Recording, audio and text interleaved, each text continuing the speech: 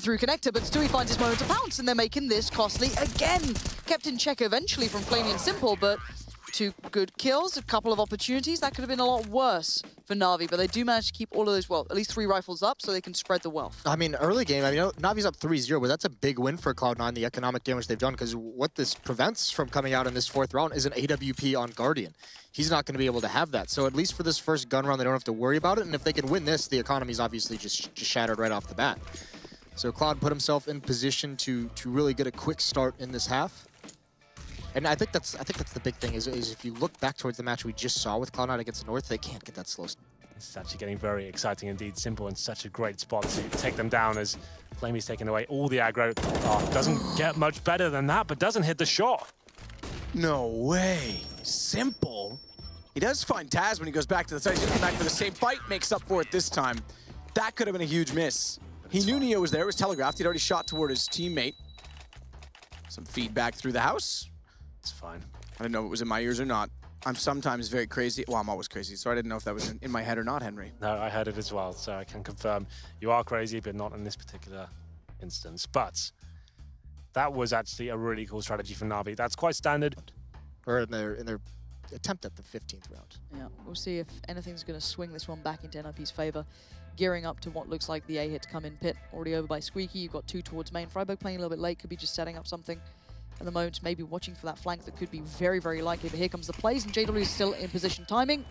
Waits for that third second. Goes back in. Oh, that was close. But now the molly's come raining in. This becomes a problem. A well-constructed hit, but it doesn't matter when GW is still doing that through smoke.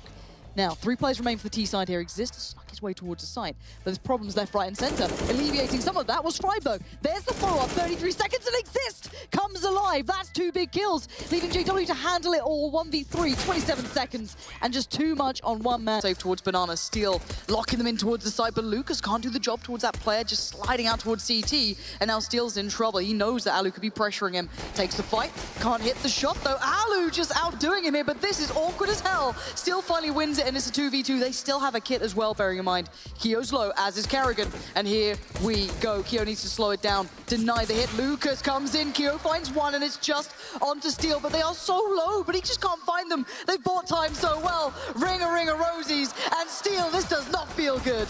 Oh, this is so uncomfortable for Steel. And kioShiMa just knows he's won. He's out of bullets, but he still wins the round. FaZe, if you're not hitting your shots, the answer... Point between both sides, not really committed to either. And the Information Man as highlighted, Steel. He's got to see this one coming. If they check it first, if they get the shot first, it could be a problem. And here we go, Steel lines him up but can't knock him down. Rain will break through, and now the hit quickens. Down to Rain and Allu. Still got a molly, still got some flashes, still got some play here. Allu's still got the orb, so this can still happen. A bit of an unorthodox plant. Just going to gamble that one out, get it down, get it done. And now Allu has to come in, and he does. That's big. Fighting Henny is massive, and now it's the 1v1. boltz has brought it back to being a possibility. Allu just going to toy with time. He's going on a walkabout all the way around towards short with the full defuse. 10 seconds. This is gutsy. This is brave, but it doesn't matter. Allu denies that little piece of hope Immortals were killing him to. Part of the crowd in the Spodek, Pansy and Moses are standing by. Yeah, thank you, Alex. This is absolutely unreal here. Yeah, this is uh, this is starting to get good stuff. There's a lot of people starting to come into the crowd. Uh, the Navi chat was a little powerful. Yeah, we I got think a, that's intimidating. We got a good friend over here. Let's go, Navi! Oh, that's going to help one There it is. Yep. No yeah. biases. No, absolutely not. But let's be honest here, looking at that map pool. All right. Unreal. Unbelievable. All right, let's bring it back to Mirage. First map, real quick. Let's be honest here. Legends are born. To force Henny to go for a peek, but it's not happening. Henny in these situations has been phenomenal. I think he's done it again, just waiting patiently and Allu's been outplayed here, even if he gets this kill, which he does. Uh, he doesn't have time at all, though. Henny's still gonna win it. Kio almost turned that one around. Allu so close as well, but Henny has been a huge redeeming factor for Immortals in the last couple of rounds. We've seen so many moments, that Molly that just denied Karrigan, and now you can see a punish here. This is getting Immortals back into the game. This I, I could have seen this scoreline being a lot cleaner if they'd actually closed out that round earlier, but that shot's just filthy. Well, now now you look at that round where they pushed down mid, and you know losing that, this is essentially like a three-round swing. That's it looks like it's about to be three rounds over to Immortals just off that. This is the favorites, uh, but I'm here to take the trophy away from them. Well, you talk about taking the trophy away from them. Of course, you were part of Astralis. How are the feelings between yourself and Astralis? They're good. We are good friends. It was an equal decision to, to split ways. And it worked out for them, and it worked out for us. So I think everybody's happy. When you were watching them, obviously they are the reigning major champions. What did you feel inside when you saw them win that? I know how hard they work for it, so of course I felt happy. And it's always like they were the right decision to, to remove me and taking Glaive. So all in all, I'm happy for them. I know how hard and how heartbreaking every time we lost in the semifinals. So I'm just happy for them. Now, your FaZe lineup, you are a band of rock stars, aren't you? It's a real rock and roll lineup you've got going here. How close? Shot on the AK. Kjaerbye will plant. Astralis finally have turned their fates as well to completely take all guns away from Heroic and get momentum in the half. So to go seven to five, winning the half might still be a question, but they're making it more likely.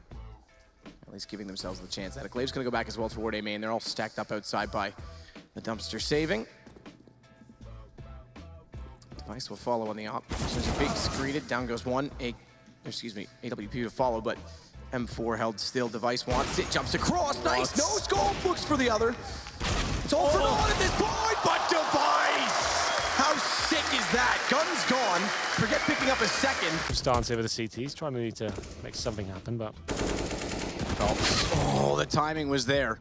Simple was spraying toward the stairwell instead, but snaps back in time and takes down felps with a mere 4 HP left. The last possible second that he could have survived. flamie's going to spot out for do further damage in toward the bathrooms, take him down as he tries to repeat P250 in hand. Saving Grayson, this is that Fallen steps out. That's going to distract Edward, and they could take advantage of this with Cold's position. He's hoping they're going to walk in. Shadow shown, headshot found. Great play, knows Guardians out toward long. Can't necessarily get a gun. That's amazing. Can't get a gun, but drive-by shooting on a pixel that... towards inside. And Karrigan, to be fair, on the CT side, looked tremendous with the AWP. That's the thing I'm worried about because Astralis come into this, I won't say cold, they just played a match, a full match against FaZe immediately before this, but having just watched oh, this version of FaZe and NiKo, look at Allu going down to everyone on the team. Keep it together. I know you're tired. Let's get this done. Goes to every single one of them and talks. Oh, Kio. Okay. Kio says no. Allu says, well, all right then. But yes, this does mean that's that's harsh, but Kio's focused. Allu's just trying to be a team player, man. He's just been shut down. Apparently Allu's the problem.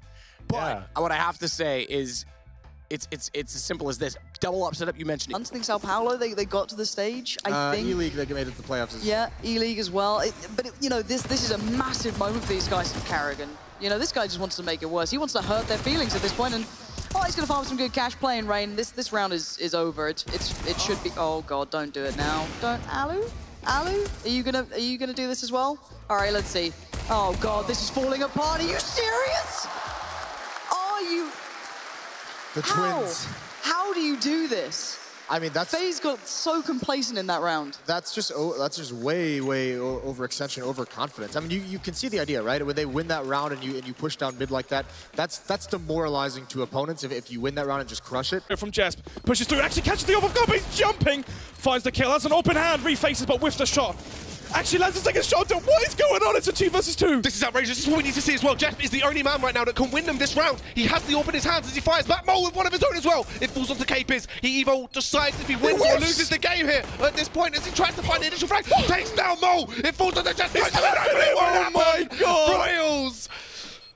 Oh, what have we just witnessed right now? Excel not going to be going to the finals of ESL Premiership as that means they can only maximally, the maximum they could get right here is a 1-1 scoreline, a draw, and simply put, a draw is Pause has been called for the next round to discuss, to try and theorize, to try and come up with something, an answer for what Astralis are bringing. But there we go, and they both lose the weapons as well.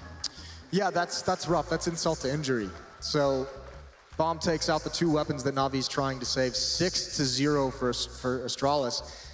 And I mean, it, I mean, outside of that, there was one round that it really looked like Navi had the chance in, where, where they had the advantage. Outside of that, it's just been a wash. It's just been a complete wipeout for Astralis. They are in complete control of this match, and that's why we're seeing this pause come out. So hopefully, Starx has some kind of an idea of how to get Navi back on track. You've got to hope. Let's be honest and recap a little about Astralis and Nuke. It's it's not That's what we wanted, but Karrigan, he's aware that's a possibility. NiKo is waiting as well. If Device, okay, he's looked away, pushes through. That's not the man I'd want to greet me. Not NiKo on the other side. I mean, that's the thing. NiKo, we used to say had to carry his teams every win. Look at him now. Now he's just like an added bonus. He's the, sugar on top of the sweets. He's everything they need to make this team so good. As they have a 10-3 lead, Glaive will get rained down though. It's an advantage to work What? with, but NiKo just turns around and obliterates Device, knows he's pushed up. That's so- exactly what we're talking about. Yep, he's perfect there. Device has got a perfect position to actually lock it down. He's lined up for that push to come back as well. NiKo completely rails him there. dupreeh, though, behind. Could find two frags here. You played in a tournament, he didn't do too well in the group stages. We know what happened then. Yeah, I mean, uh, that's how it is, you know, like, we, you can't win everything, and, like, that's what we also know as uh, we've been working with our sports psychologists about, that we want to be a top four contender every time, but you cannot win every time. That's just, there's too much competition going here. So right now it's looking pretty good for us, and we're going to face off Heroic against us tomorrow in uh, semifinals, so yeah. Looking at two of the big teams who fell in the group stages with VP and also SK, do you feel your performance outshines them now? Because making it this far seems to have been a tough trip for everyone. It's a little bit of both of yes and no. I mean, best of ones can get random. They had a really tough group, but like everyone was like, it actually ended up being But they made it work. They certainly did. Who would have thought Immortals to be here in the quarterfinals over SK Gaming and the two Brazilian sides? It's going to be an excellent game. And we talked about the clash of styles here. The wall starts to raise in the middle, Matthew. That's always a very nice touch. Do you like that? I love that. I think it's so cool. No team can see each other. Obviously, the whole flashbang thing is the issue there, but there's the crowd I expected. Yes, VP is- not in the game. they still have their support. We had that last year as well. That's SBS, not VP, but it is going to be North starting out on the CT side of Cache, and already we see the buy. It's a kit and a smoke for Magisk. Certainly is. And North on the CT side here, this is what we said for Immortals. They're going to struggle on this one, but we're going to see what happens. Well, the two smokes have got, the few flashbangs. dum dum dum